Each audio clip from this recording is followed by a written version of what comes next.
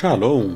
Você está em mais um episódio do podcast Exegese e Exposição. Exegese on demand para você.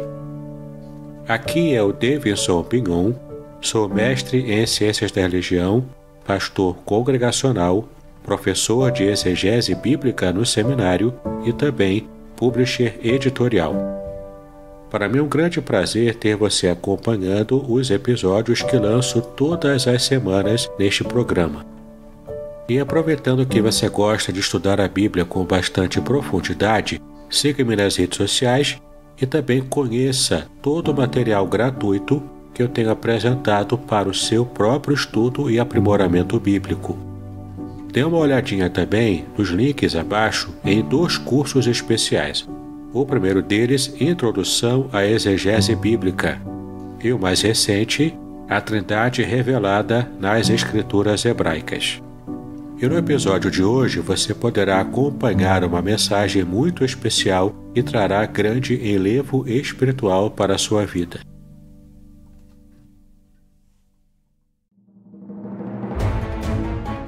Podcast Exegese e Exposição Exegese on demand para você.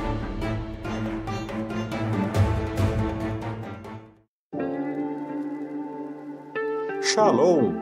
Aqui é o Davidson Pignon. Eu ajudo pastores e líderes cristãos a fazer estudos bíblicos na igreja sem ter problemas com interpretações bíblicas erradas.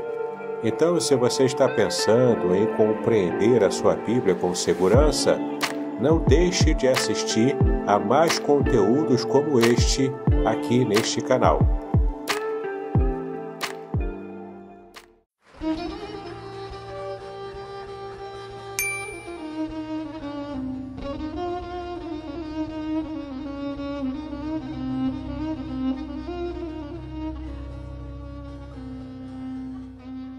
Shalom! Quero falar sobre o livro Revelações Originais do Salmo 23. Nesta obra, o reverendo Davidson Binon nos convida a minerar pepitas de ouro escondidas no rico solo do Salmo 23. Todo livro é melhor compreendido em seu idioma original, em sua época original e em seu local original. Estamos distantes dos três no que diz respeito à Bíblia.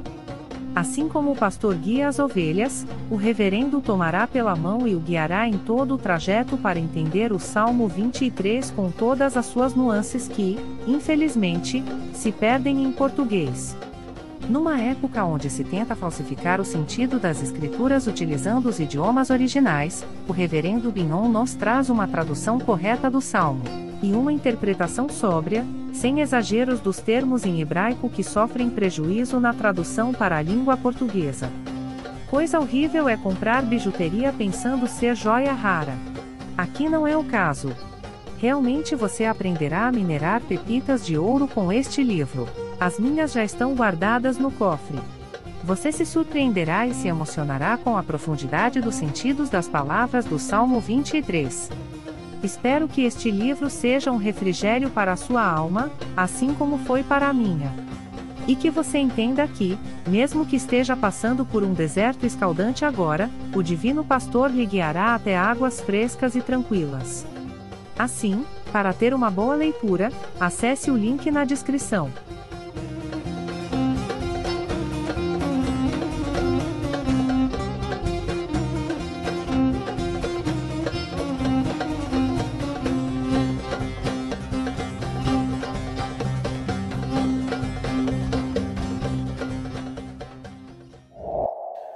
De Atos, capítulo 1. Nós leremos apenas um verso nessa manhã, que é o verso de número 5. Lucas traz à memória as palavras do Senhor Jesus, que diz: Porque João, na verdade, batizou com água, mas vós sereis batizados com o Espírito Santo não muito depois desses dias. Porque João, na verdade, batizou com água, mas vós sereis batizados com o Espírito Santo não muito depois desses dias. Deus abençoe a leitura e também a meditação da Sua palavra. Se nós estivéssemos aqui numa aula universitária de antropologia ou de sociologia, nós iríamos afirmar que o cristianismo ele é uma religião como qualquer outra. Seria uma religião como o islamismo, seria uma religião como o budismo, embora alguns teóricos afirmem que o budismo não seja uma religião, porque não há um Deus no budismo, existe uma espécie de força é, mística condutora da realidade, mas não há uma figura que ouve orações, não há um ente no budismo. Outros teóricos discordam, dizendo, apesar disso, o budismo sim é uma religião.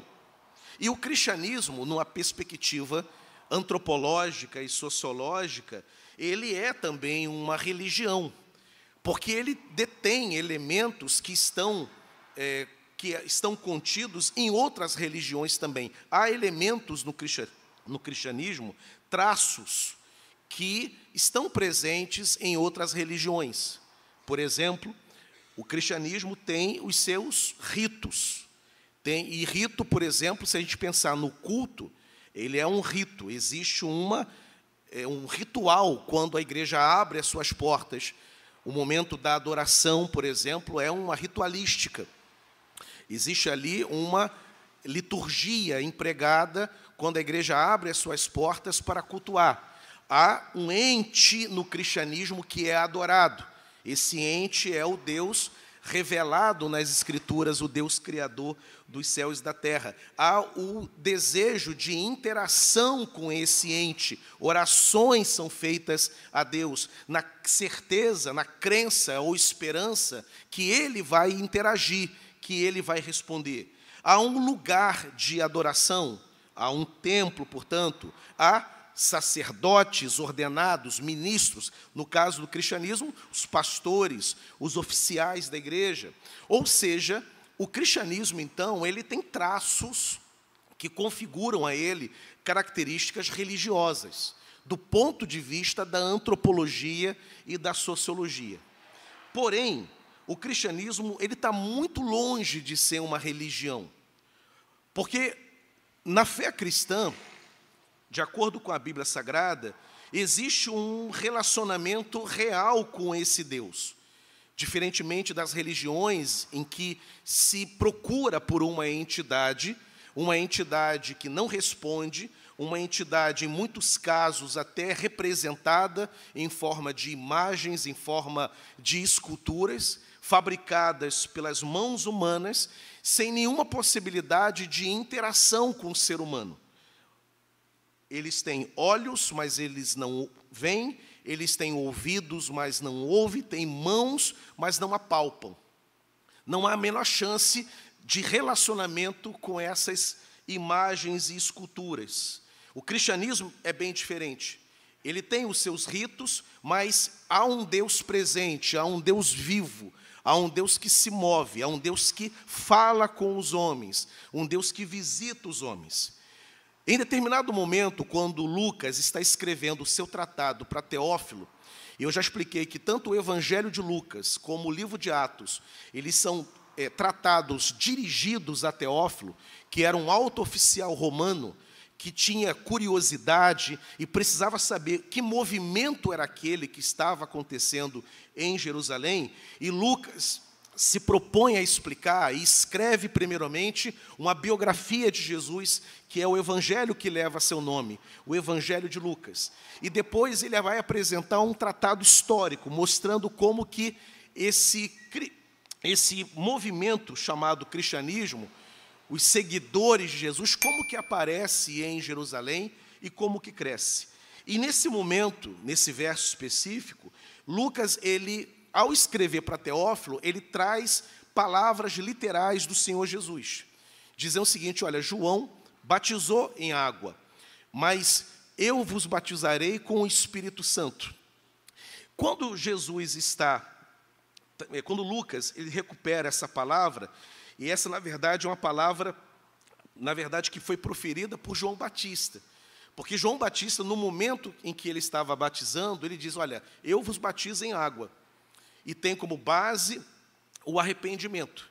Mas virá aquele que é maior do que eu e vai vos batizar com o Espírito Santo e com fogo, é o que aparece lá no Evangelho de Mateus e Lucas depois repete essas palavras do Senhor. De forma que, nessas palavras de Lucas, nós percebemos tanto o batismo, que é o rito com água, como também o batismo mencionado, o batismo com o Espírito Santo. Importante destacar que o batismo com água, ele marcava o início da fé cristã. Era a marca inicial. Mesmo antes do Senhor Jesus iniciar a sua pregação, João Batista estava pregando o advento do reino de Deus. Ele estava preparando uma geração, a geração que lhe era contemporânea, para a chegada, para o advento do reino de Deus que estava prestes a se manifestar, chamando, portanto, os judeus ao arrependimento, reconhecendo que eles eram pecadores e exortando esses homens a entrar para o reino de Deus. E a forma desses homens demonstrar que estavam acreditando na pregação de João Batista evidenciando que estavam arrependidos de seus pecados e desejavam ardentemente o reino de Deus, a forma de demonstrar isso era descer as águas do Rio Jordão, era ser batizado por João Batista. Inclusive, alguns fariseus debochavam da pregação de João e do batismo de João. Ele, inclusive, vai dizer: olha, olha, raça de víboras, quem vos ensinou a fugir da ira vindoura. Produzam, portanto, frutos de arrependimento. Então, o batismo nas águas, ensinado por João, daí da onde vai surgir uma longa tradição de batismos por imersão, embora o batismo por aspersão vai estar presente também naqueles tempos, começou, portanto, tendo esse marco: eu estou arrependido, eu quero testemunhar do meu arrependimento, eu quero o reino de Deus na minha vida, eu quero entrar para o reino e eu quero, portanto, me batizar como um símbolo da lavagem de purificação, como um símbolo de que os meus pecados estão sendo perdoados pelo Senhor. De forma então que, dentro da tradição cristã, quando as primeiras igrejas vão surgir e vão é, pegar o batismo de João, e o próprio Senhor Jesus vai ordenar que todo aquele que crê seja batizado, porque ele próprio, o Senhor Jesus, foi batizado pelo próprio João, vai marcar, portanto, o início da trajetória cristã. Todo aquele que crê deve ser batizado. Todo aquele que crê deve declarar que reconhece que é um pecador e que deseja agora participar do reino de Deus. Na Bíblia Sagrada é Uh, embora haja hoje em dia uma espécie de tolerância entre aqueles que entregam a vida para Jesus e ficam aguardando a vontade, o momento certo de se batizar, no Novo Testamento isso não era assim. No Novo Testamento, a pessoa entregava a vida para Jesus e ela já era batizada.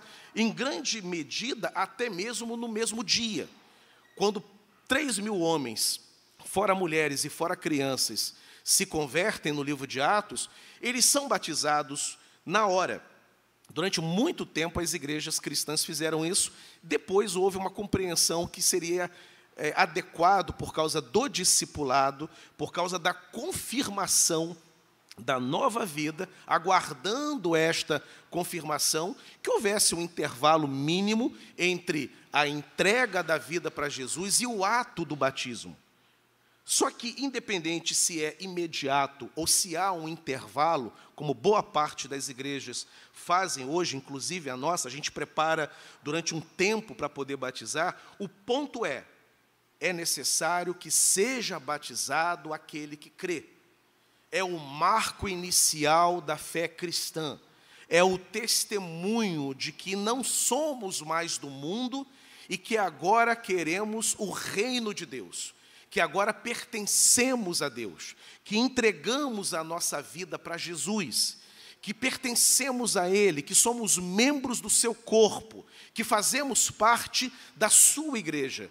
e que não somos mais desse mundo, ainda que vivamos no mundo, ainda que possamos interagir nesse mundo, não pertencemos mais a ele. Então, o batismo tem, entre outras conotações, essa implicação a implicação de uma nova vida, de uma nova vida adquirida, de uma vida que foi transformada e de alguém que pertence a Jesus e quer proclamar diante dos homens essa nova vida. De forma que é curioso quando nós temos no meio da igreja irmãos que têm uma experiência cristã, que entregaram a vida para Jesus, isso acontece às vezes até com alguns adolescentes e tem medo de se batizar. Tem medo porque consideram que é um compromisso muito elevado, é um compromisso muito grande e com Deus não se brinca. É óbvio que com Deus não se brinca. É óbvio que é sim um compromisso elevado, o compromisso do batismo. Porém, a Bíblia Sagrada não nos orienta em nenhum momento a termos medo do batismo a achar que não estamos preparados para o batismo. A Bíblia exorta o contrário: aquele que crê, seja batizado. Aquele que entregou a sua vida para Jesus, seja batizado. Pastor, e os meus medos? E as minhas inseguranças? Cabe ao pastor, cabe aos presbíteros da igreja, cabe aos professores, que são os mestres da igreja, incentivar a enfrentar esse medo.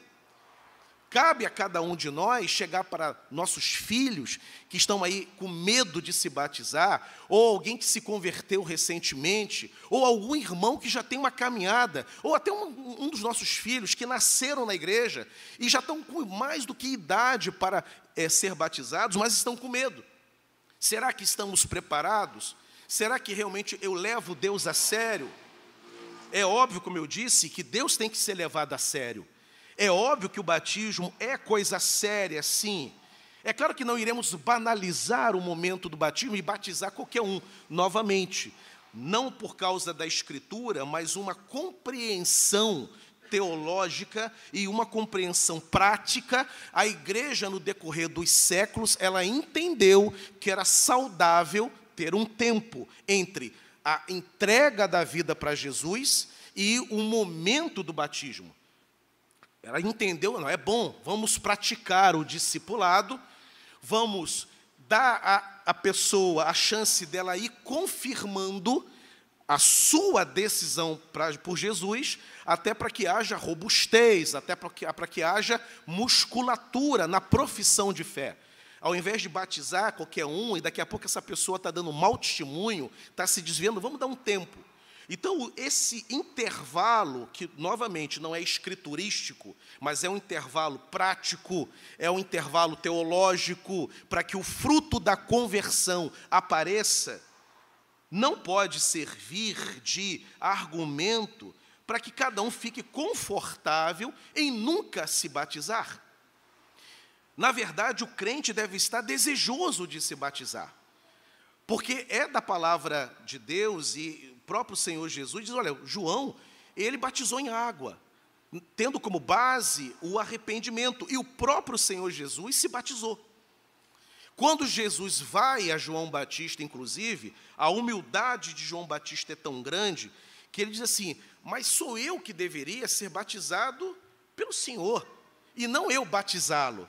E aí Jesus responde para ele: Olha, convém que se cumpra toda a justiça. E Jesus desce, portanto, as águas e ele é batizado. Mateus capítulo 3 tem esse testemunho do batismo do Senhor Jesus.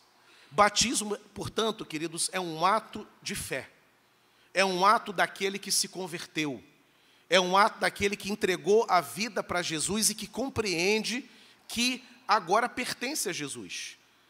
Não cabe, portanto, termos inseguranças, medos, achar que não estamos prontos, ou então estamos matriculados na classe do batismo, e aí eu vou e tenho uma, um tropeço na minha caminhada cristã, e aí eu já desisto de batizar. Eu já peguei casos de irmãos que discutiram com a esposa na semana do batismo, e por causa da discussão, ponderaram em não se batizar. Essa perfeição não é exigida de nenhum de nós. o que é exigido de cada um dos servos do Senhor é que aquele que creia, que seja batizado. João Batista batizou os conversos, Jesus se batizou nas águas. O batismo de Jesus era um batismo diferente. O batismo de Jesus foi para cumprir toda a justiça. O batismo que João empregava era um batismo de arrependimento. Jesus não tinha do que se arrepender. Jesus não era um pecador, embora fosse um de nós, igual a nós, um homem sujeito às mesmas fraquezas que nós. A diferença entre ele e nós é que nós pecamos, falhamos e ele nunca falhou. Mas o próprio Senhor Jesus dá o exemplo quando ele se batiza. E está ordenado a todo aquele que crê que seja batizado. Você teve a sua vida entregue para Jesus Cristo? Jesus é o Senhor da tua vida? Você o ama de todo o coração? Você está experimentando de uma transformação de vida, não de perfeição de vida. Porque se pensarmos em perfeição de vida, eu não posso estar no púlpito, ninguém pode estar aqui ocupando o louvor, a Lília não poderia ter pregado ainda há pouco na reunião de oração, ninguém poderia estar fazendo nada, se pensarmos em perfeição. Mas se pensarmos em transformação, a sua vida está sendo transformada e você ama Jesus, ele é a pessoa mais importante na tua vida. Você crê que ele morreu pelos seus pecados, você se vê como um grande pecador mas você crê que o que Jesus Cristo fez por você na cruz do Calvário foi suficiente e eficaz para perdoar os seus pecados, as suas transgressões, meu querido, você está apto para batizar. Não há nada que impede o teu batismo. Não há nada que impeça de você tomar esta decisão de você se batizar, declarando ao mundo que agora você pertence a Jesus. O inimigo ele vai tentar nos fragilizar, inclusive trazendo acusações contra nós. Eu falei ainda há pouco, eu lembro de um caso, na semana do batismo surge uma discussão em família. E por causa da discussão, o irmão fica inseguro na questão se ele deveria ou não é, se batizar. As nossas fragilidades e os nossos pecados, todos eles foram resolvidos na cruz. Jesus já pagou a conta de todas as nossas falhas, de todos os nossos tropeços. Então, portanto, você deve tomar a sua decisão de você se batizar, caso ainda você não o tenha feito. E o batismo é um marco inicial da trajetória cristã e ele é um elemento, à luz da antropologia, de um elemento religioso. Porém, há um outro batismo que João se refere que a Escritura fartamente se refere. Que nada tem a ver com os homens, nada tem a ver com as águas, e sim o batismo com o Espírito Santo. João Batista, ele diz bem claro para os seus ouvintes: Eu vos batizo com água, tendo como base o arrependimento. Quem se arrepender será batizado. Mas virá aquele que é maior do que eu, e eu não sou digno de desatar-lhe as sandálias, ele vos batizará também, mas não com água, ele vos batizará com o Espírito Santo. E esse batismo com o Espírito Santo, que João é, se refere, ele se cumpriu em Atos capítulo 2, verso 1 até o verso 4, quando o Espírito Santo é derramado sobre uma comunidade de 120 irmãos que estavam orando após a ascensão de Jesus, após o retorno de Jesus para a glória, eles aguardam o derramamento do Espírito Santo e o Espírito Santo é derramado. E aí começa, portanto, a era da igreja, quando a igreja começa o ministério tendo por base não mais a água, mas tendo por base o batismo com o Espírito Santo. E esse batismo com o Espírito Santo, ele é experimental. Ele não tem a ver com rito religioso. Porque o rito religioso, muitos podem até passar por ele. Muitos podem até passar pelo batismo com água. Porque se identificam como crentes, porque acham o batismo bonito, acham uma cerimônia interessante, é um ato socialmente agradável, socialmente aceito ser batizado, pertencer a uma igreja. Tudo isso pode acontecer na vida de alguém que não teve nenhuma experiência com Deus. Porque o pastor não tem como saber quem é cristão verdadeiro e quem não é. A gente pode ter uma ideia baseado no fruto da vida. Porque Jesus disse que pelos frutos nós conheceremos. A igreja olha e vem um indivíduo, não, esse rapaz é, é crente, essa moça é crente. Outros a gente pode ter até alguma dúvida, mas não nos cabe chancelar quem é e quem não é. Só quem sabe é o Senhor. Há uma igreja invisível que só quem conhece é Deus. Porém, o batismo com o Espírito Santo é impossível passar por ele sem a experiência legítima da conversão.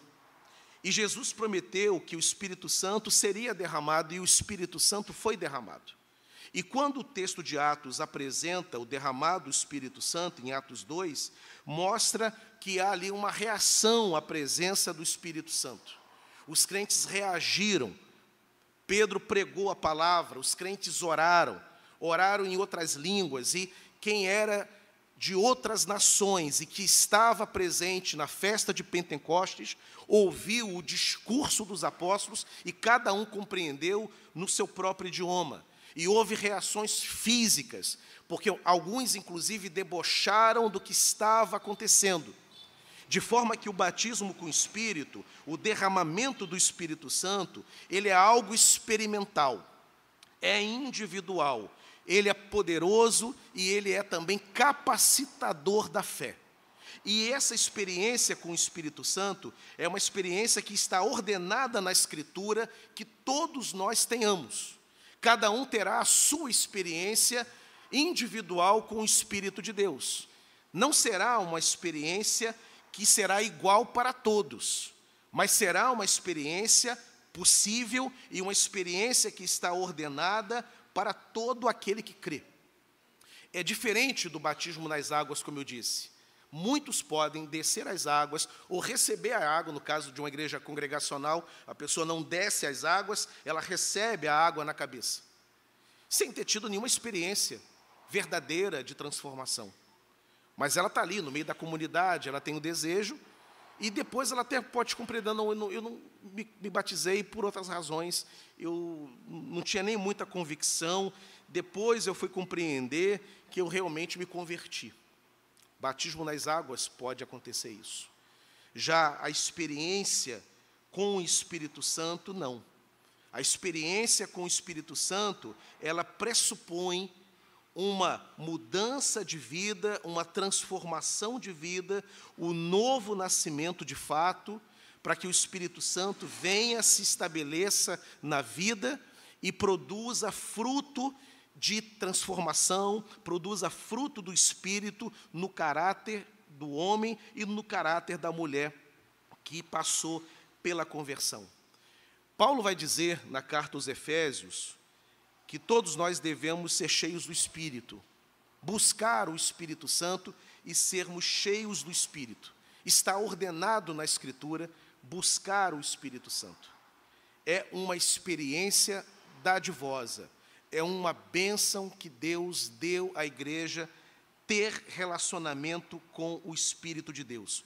E essa experiência com o Espírito, esse batismo, quebra toda a lógica que o cristianismo seja uma religião como outras.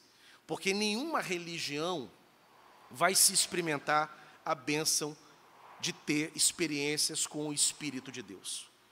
O Espírito de Deus é dado aos filhos de Deus. O Espírito de Deus, ele vem fazer morada na vida daquele que entregou a sua vida para Jesus Cristo ele vem fazer morada no coração daquele que reconhece que Jesus é o Filho de Deus.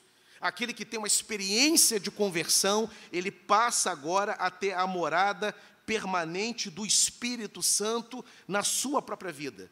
E essa habitação do Espírito, ela vai promover algumas dádivas, alguns presentes. O Espírito Santo, por exemplo, ele é o responsável de chancelar no nosso coração a certeza de que nós somos filhos de Deus. Paulo vai dizer isso na carta aos Romanos. O Espírito Santo testifica, o Espírito de Deus testifica em nosso espírito que nós somos filhos de Deus. A certeza que temos que pertencemos a Deus, esse sentimento de pertencimento ao Senhor é produzido pelo Espírito de Deus. E é uma bênção, porque haverá momentos de muita luta, haverá momentos de muito ataque na vida do crente, em que o inimigo das nossas almas vai fazer de tudo para que você acredite que você não é filho de Deus. Se você é filho de Deus mesmo, isso não estaria acontecendo com você.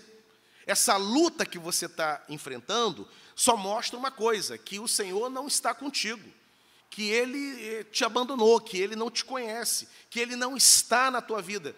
Com o próprio Senhor Jesus, Satanás fez isso.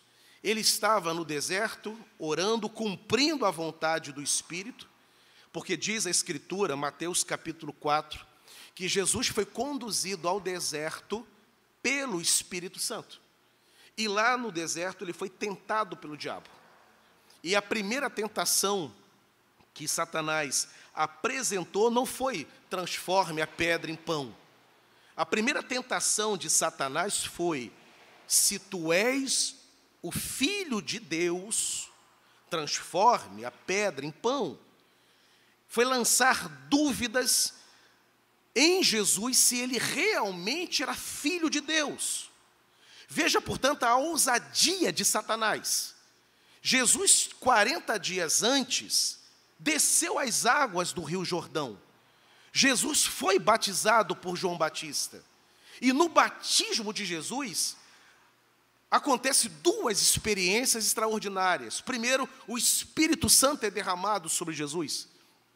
Uma pomba aparece naquela cena simbolizando a descida do Espírito, chancelando o ministério de Jesus. Jesus tinha naquele momento 30 anos de idade, de acordo com a tradição rabínica, um sacerdote era iniciado no exercício sacerdotal com 30 anos de idade. E Jesus é o sumo sacerdote. E naquele momento o Espírito Santo chancela o ministério de Jesus. É a primeira experiência. Junto com essa experiência vem uma segunda, Deus Pai dá testemunho de Deus Filho, dizendo: Esse aí é o meu filho, eis aí o meu filho, em quem a minha alma se compraz, eis aí o meu filho, em quem me comprazo.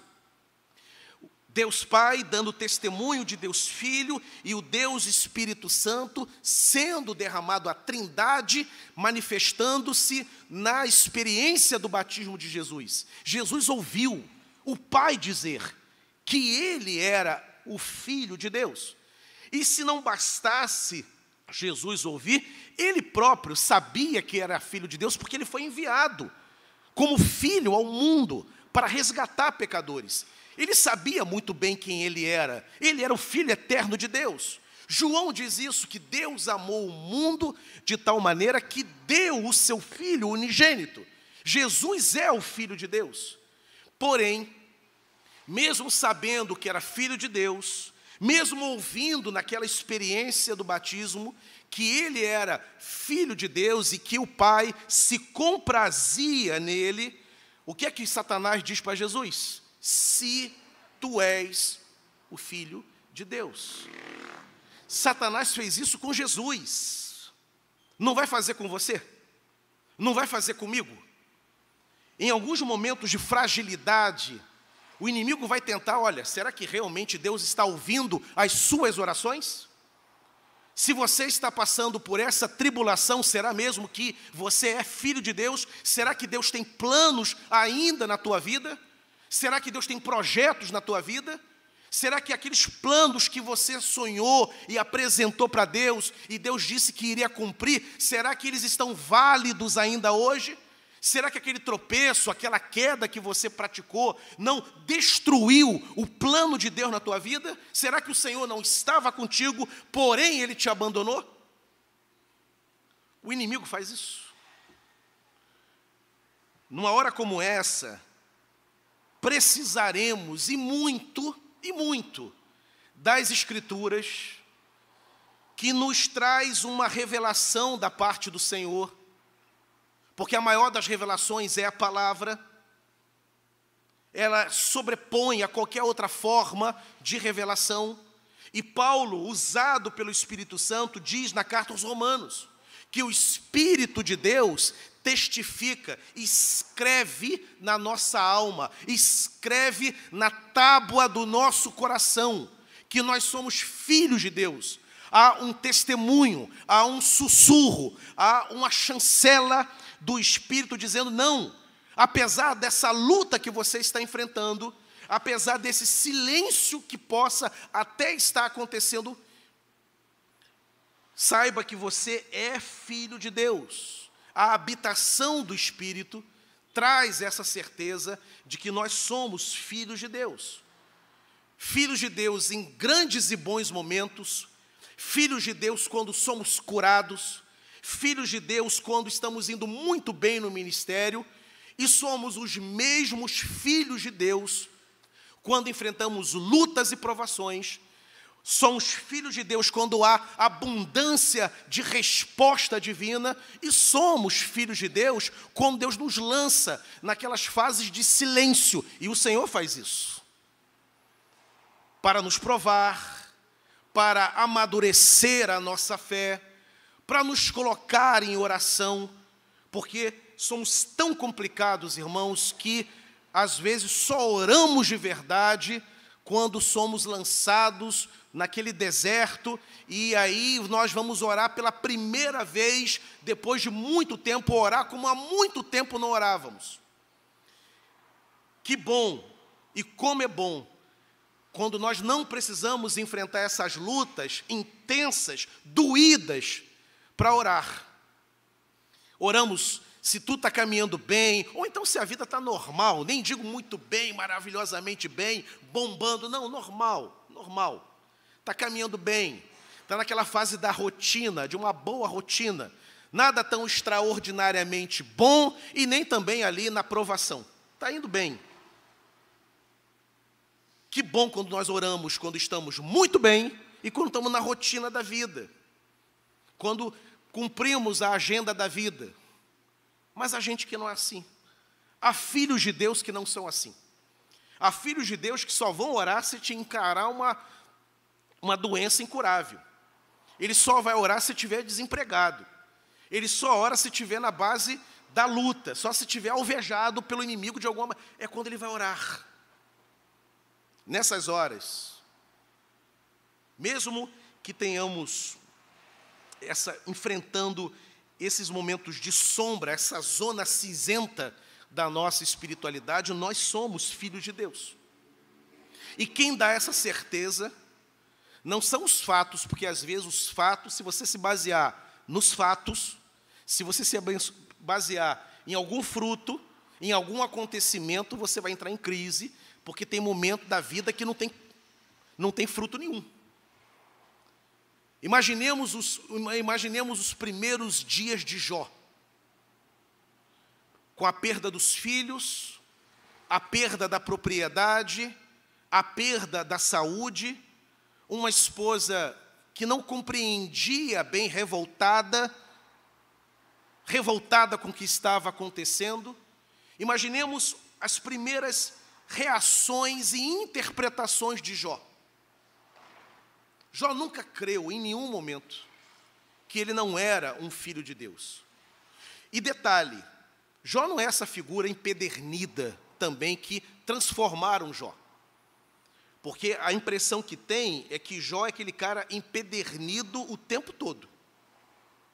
Porque se lê o capítulo 1, capítulo 2, capítulo 3, e depois se dá um salto quântico para o capítulo 42, que é o capítulo da redenção de Jó. Vai ler o capítulo 9, lê o capítulo 10, lê o capítulo 11, lê o capítulo 15. Você vai ver um Jó angustiado. Você vê um Jó estressado. Você vê um Jó doído. Mas você não vai ver um Jó questionando a sua filiação para com Deus. Está estressado. Inclusive, na tradição rabínica, alguns versos do capítulo de Jó foram suavizados, porque Jó se aproxima muito de uma reclamação murmurosa, quase que ofensiva contra Deus. A sociedade bíblica do Brasil dá uma, uma apaziguada, porque mostra um cara estressado, debaixo de lutas, aliás, as entranhas estão quase saindo. Mas ele tinha certeza que ele era filho de Deus. A morada do Espírito, quando o Espírito Santo foi derramado e quando ele nos batiza, quando Jesus nos batiza com seu Espírito Santo, temos uma bênção decorrente, que é a certeza que somos filhos de Deus. E, meu querido, essa é uma das maiores dádivas que podemos ter, não só sermos filhos, mas termos a certeza que somos filhos. É bem diferente. Porque um filho pode ser filho, mas não se sentir amado, não se sentir pertencente, não se sentir observado, cuidado pelo pai. Na própria experiência humana acontece isso. O cara, é, o cara é filho de tal pessoa, ele é herdeiro do que tem, ele é filho daquele homem, ele é filho daquela mulher. Quando os pais morrerem, ele vai herdar o que aqueles pais têm, porque ele é filho, ninguém tira isso, é um dado da biologia. Mas ele não se sente, ele não se sente amado, ele não se sente pertencente, ele não se sente ali, parece que ele tem pai e parece que não tem. Ele tem mãe e parece que não tem. E não é sempre por causa de uma alienação parental, porque tem muitos que até são recebem as expressões de amor um pai até se esforça, uma mãe até se esforça, mas por algum dado psicológico, alguma neblina na consciência, essa pessoa não consegue sentir amado pelo pai e pela mãe. E há muitos crentes que são assim. Deus dá mostras claras do seu amor. Ele nos criou, ele nos deu vida, ele dá saúde, ele deu família, ele abençoa o trabalho, você é alguém abençoado, mas por alguma questão até espiritual, muitos não se sentem amados de Deus. E aí você olha para a Escritura, você aprende assim: não, Deus prova o seu amor para conosco quando Ele deu o seu Filho para nos perdoar, quando nós ainda éramos pecadores. A grande demonstração do amor de Deus não é a vida, a família, a saúde. A grande prova, a grande demonstração do amor de Deus é o seu Filho ressurreto, é Jesus Cristo encarnado, primeiramente, morto na cruz do Calvário. Ali, naquela cena do Calvário, da sexta-feira da paixão, o grande amor de Deus está declarado aos homens. Mas por alguma questão, Muitos não conseguem capturar esse amor. E o ministério do Espírito Santo é dizer: não, Ele te ama. Você é filho de Deus. Não interprete a tua vida e talvez alguns insucessos da tua vida como se fosse uma desfiliação. Não, nunca seremos desfiliados. O amor de Deus é um amor seguro. Recentemente, o Arthur, ministrando aqui louvor, falou sobre isso de um amor sólido, seguro, permanente. Se você está voando na fé, Ele te ama. Se você está tropeçando na fé, Ele te ama.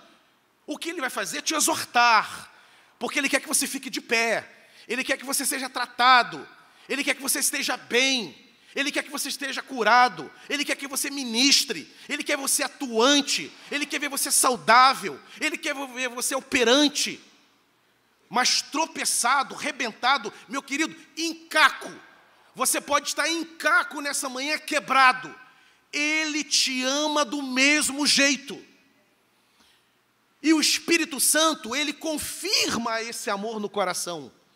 Porque se não fosse o Espírito Santo, essa certeza nunca nós teríamos. Porque a natureza humana, que não foi extirpada de nós, a natureza adâmica, caída, ela permanece. É uma luta permanente.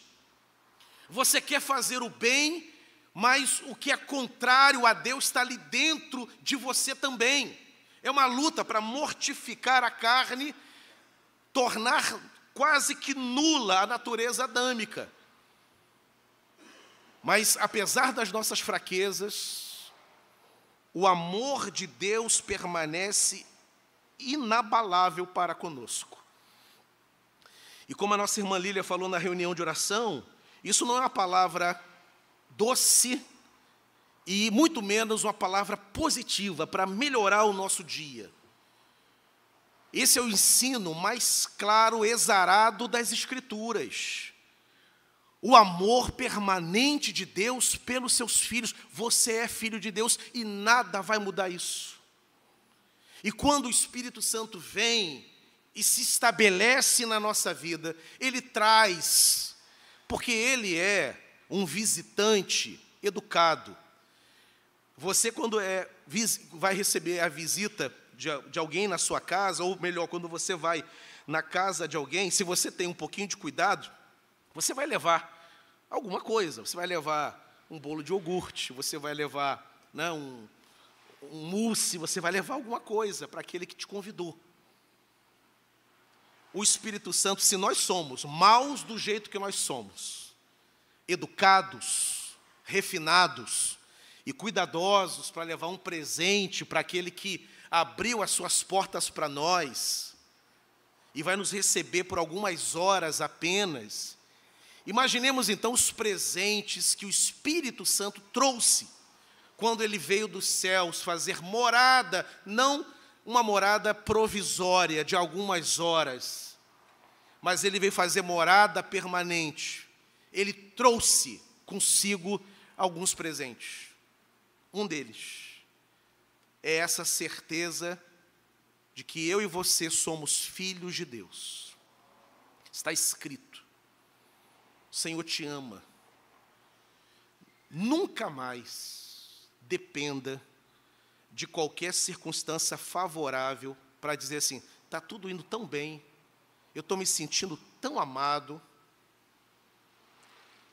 e quando tudo não for tão bem? Você sabia que há irmãos que enfrentam momentos que não são tão bons na vida deles? Há momentos na vida de irmãos de muita luta, de muita provação, de muita dor. Esses irmãos são tão amados por Deus como você que passa por um grande momento na tua vida, porque o amor de Deus nada tem a ver com portas abertas, com curas promovidas, com alegrias proporcionadas. O amor de Deus, ele foi derramado em nós pelo Espírito Santo, quando nós ainda éramos pecadores. E é inalterável. Você está sentado aqui agora, o Senhor te ama. Quando você voltar para casa, o Senhor continua te amando. Logo mais à noite, o amor permanece. Amanhã, segunda-feira, dia útil de trabalho, ele permanece. Aí na quarta-feira, você se irrita e você discute. Eu lembro que uma vez eu estava pastoreando a igreja de Andorinhas, eu estava no gabinete, era um domingo. Toca o telefone, era um irmão que estava perto de se batizar, faltava alguns meses para o batismo dele. Pastor, preciso conversar urgentemente com o senhor. E aí, marcamos o horário, ele veio. E ele veio me contar, chorando muito, que ele era indigno, ele não queria, inclusive, se batizar, porque ele tinha se envolvido numa briga. E naquela briga, o homem falou algumas coisas para ele, e falou assim, pastor, fui tomado de um, de um ódio, e espanquei o homem, e tirei sangue dele na briga. Eu era o, o pastor daquele rapaz, pastor dele, pastor da esposa dele, pastor dos filhos dele. E aí eu conversei com ele dizendo: Olha, o que você fez foi, foi terrível para um cristão. A Bíblia diz para a gente dar a segunda caminhar a segunda milha, dar a outra face, dar a capa e também a túnica. e não responder provocações, muito menos agredir o próximo, muito menos tirar o sangue. Mas aconteceu, não deveria. Mas e agora? E ele se achando ali o pior membro da igreja, congregado, estava perto de se batizar. E aí conversei com ele, mostrei para ele, ó, olha, o fulano, eu tenho uma notícia para te dar. O que nós fazemos entristece o espírito. O Espírito Santo se entristece. Paulo diz isso. Não vos entristeceis o espírito, no qual foste selados para o dia da redenção. Paulo diz isso na sua carta. Mas a tristeza do espírito nada tem a ver com o amor de Deus. Nada tem a ver com o amor do espírito. O amor continua. E justamente porque o amor continua, é que o Senhor perdoa, coloca de pé, purifica transforma e segue trabalhando na vida. O Espírito Santo não desiste de nós. Ele não desiste de você. Louvado seja o nome do Senhor. Somos do Senhor e nada muda isso. Lucas recupera, portanto, palavras de João. E aqui palavra de Jesus, né? Porque João, na verdade, batizou com água, mas vós sereis batizados com o Espírito não muito depois destes dias. E um dos presentes do Espírito, quando foi derramado, é dar-nos a certeza de que nós somos filhos de Deus. Nada vai mudar isso. Siga em frente. Confie no amor do Senhor e saiba, o Espírito Santo, ele está em você. Foi derramado, faz morada de uma vez por todas. Louvado seja o nome do Senhor.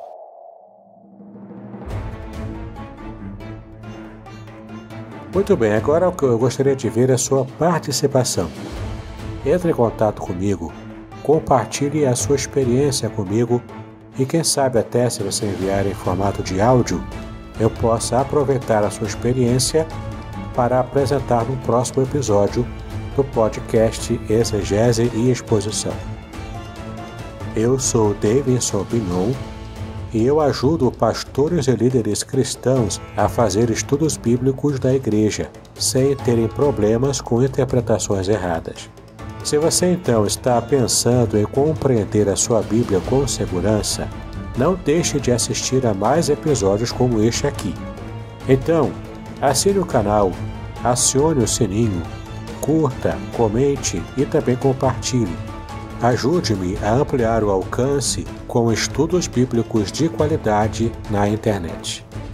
Que Deus abençoe os seus estudos, paz e bênção sobre a sua vida.